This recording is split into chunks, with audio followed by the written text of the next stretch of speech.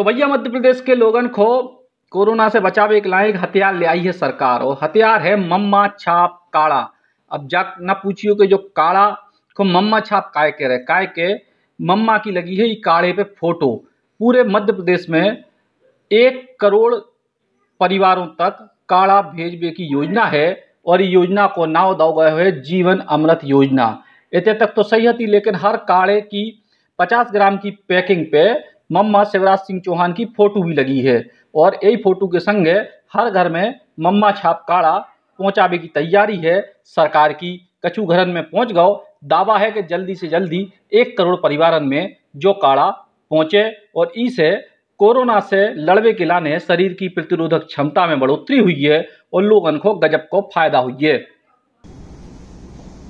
अब एक तरफ़ तो यह है कि हम कोरोना जब हो जाए, तब उसका उपचार करें।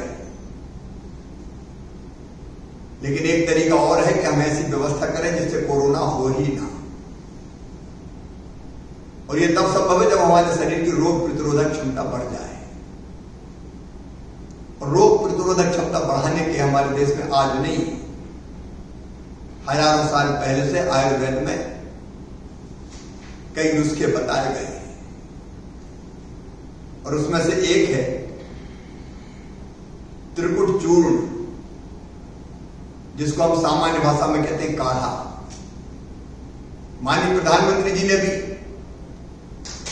अपने संबोधन में काढ़ा पीने की जनता से अपील की थी। उसने मध्य प्रदेश सरकार ने एक योजना बनाई है, जीवन अमृत योजना। इस योजना के तहत हम काढ़े के पैकेट एक करोड़ पैकेट जनता के बीच में बांटेंगे। इस काढ़े में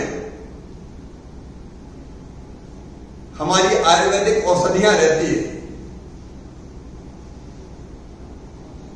एक छोटा चम्मच काढ़ा काढ़े का चूर्ण आप निकालिए। तुलसी के तीन चार पत्तों के साथ एक लीटर पानी में डाल के उबालिए। और जब पानी आधा रह जाए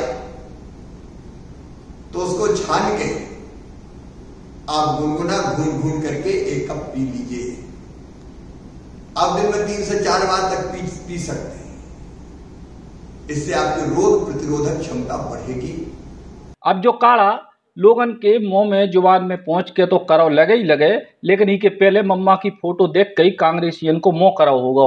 और यही से कांग्रेस यानी विपक्ष सवाल उठा रही कि संकट के समय में जब पूरे देश को उपदेश दिया जा रहा है कि राजनीति नहीं करने, ऐसे में मम्मा अपनी फ़ोटो लगा के काय घर घर में पहुँच रहे और ये तीसारी सारी फ़ोटो ऐसे लॉकडाउन के समय में छप कैसे रही?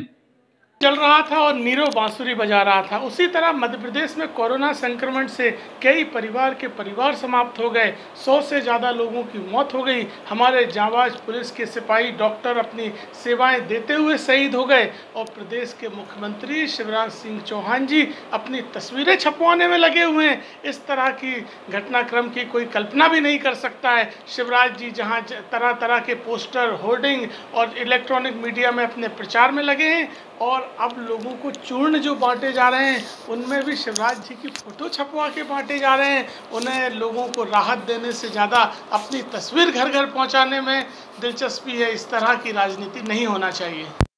तो भैया, राजनीति तो जय कहियात के मौके पे चौका लगा। और मम्मा ने घर घर काड़ा बेचबे के संगे अपनी फ़ोटो भी घर घर पहुँचा दी। अब ऐसे में कांग्रेसियन को जो है, टेंशन हो वो स्वाभाविक है। अब जो सही है कि गलत, जो तय आप करो, हम का बताएँ?